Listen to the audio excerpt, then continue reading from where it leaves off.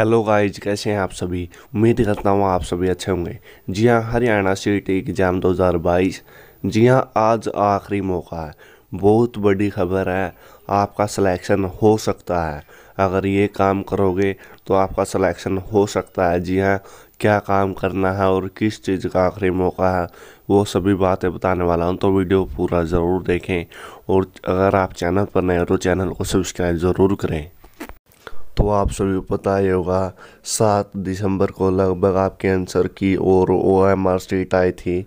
उसके बाद जी हाँ ग्यारह तारीख, आज आखिरी डेट है जिसमें आप ऑप्शन लगा सकते हो। जी हाँ जिसके भी साठ के करीब है, वो ऑब्जेक्शन ज़्यादा से ज़्यादा ज़रूर लगाए।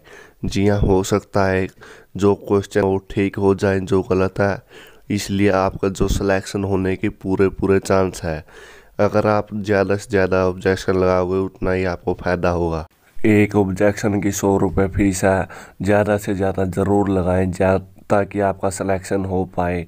बाकी आगे के वीडियो के लिए आप चैनल को सब्सक्राइब ज़रूर करें।